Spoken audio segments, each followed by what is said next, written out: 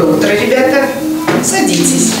У восьмого В первый урок обществознания. Мальчишки и девчонки старательно выводят в тетрадях тему, что делает человека человеком, под диктовку учителя Галины Кузьминой. Кстати, писать и читать их тоже научила она. Первый учитель, первый опыт, первый день в школе. Мы не знали, чего ожидать, но с каждым днем Галина Станиславовна открывалась нам как очень добрый человек, как хороший и замечательный педагог и очень хороший классный учитель. Галина Станиславовна еще отличается тем, что очень интересно преподносит материал. То есть она не просто может сделать презентацию, она очень интересно все показывает, рассказывает и описывает.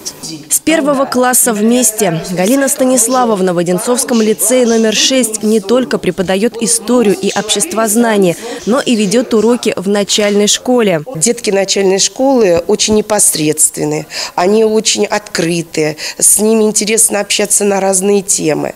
А вот старшеклассники более взрослую оценку существующим событиям дают. На этот раз оценку поставили ей. Галина Кузьмина из шестого лицея вошла в сотню лучших педагогов Московской области.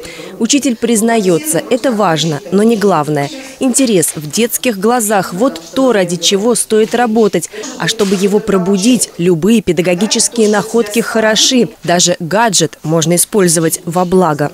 Телефон мы используем активно на уроке, когда разрешается ребятам прогуглить э, какое-то знание, которого недостаточно э, в учебнике выдано. Или, например, э, дети очень эмоционально реагируют, когда мы работаем не просто фронтально со всем классом, а работаем в парах или группах. Не только учить, но и учиться, чтобы шагать в ногу со временем, а значит и с учениками. И тогда интерес к предмету гарантирован. Это еще один профессиональный секрет.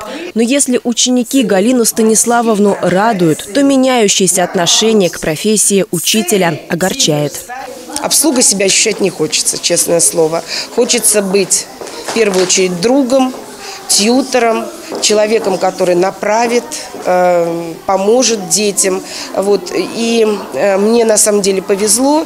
Э, большинство родителей, с которыми я общаюсь, они меня воспринимают так. Больше, чем просто учитель. Это доказывают выпускники Галины Кузьминой. Они снова и снова приходят в лицей, чтобы увидеться с любимым педагогом. А ей на короткие мгновения удается забыть, что она учитель, и выдохнуть. Семья, дочь, внуки, любимая дача и путешествие на машине. За рулем сама. Зачастую какие-то проскальзывают моменты, а бабушка покажи, а научи, и все, и бабушка тут включается полноценным учителем. А внучка моя вот в этом году, например, пришла в дошкольную группу и сказала, что пойду только к бабушке.